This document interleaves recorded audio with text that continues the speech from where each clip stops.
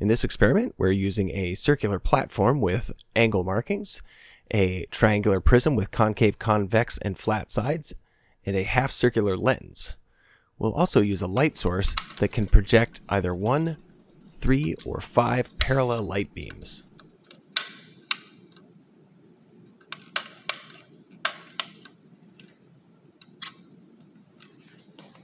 If we project a light beam at the flat side of the triangular mirror, we can study the angles of incidence and reflection.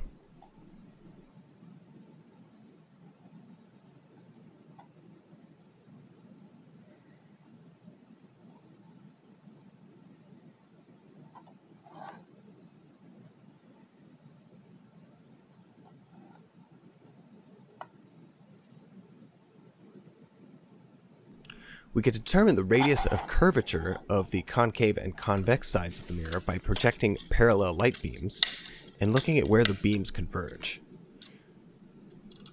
Parallel light beams aimed at a concave or convex surface will converge at the focal point of that surface, which is half of the radius of curvature. We provide a ruler here so that the scale in the video can be easily seen.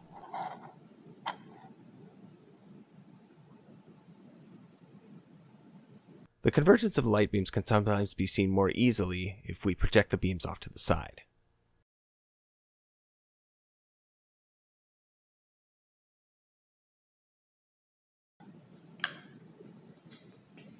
Now we'll study a half-circular lens. We project a beam at the flat side of the half-circular lens. The beam hits the flat side at an angle, but when it exits the curved side, it's always perpendicular to the surface, so it's only refracted once. This makes it easy to study the incident and refracted angles.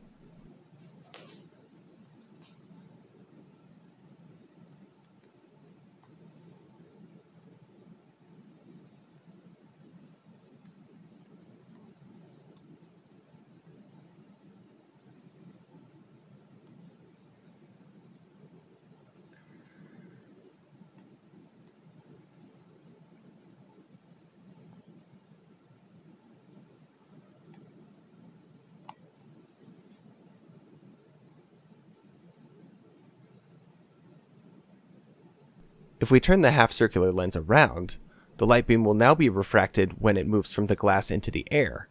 Because the index of refraction decreases, when we reach a certain angle, the light beam will be entirely reflected within the glass. This incident angle is called the critical angle.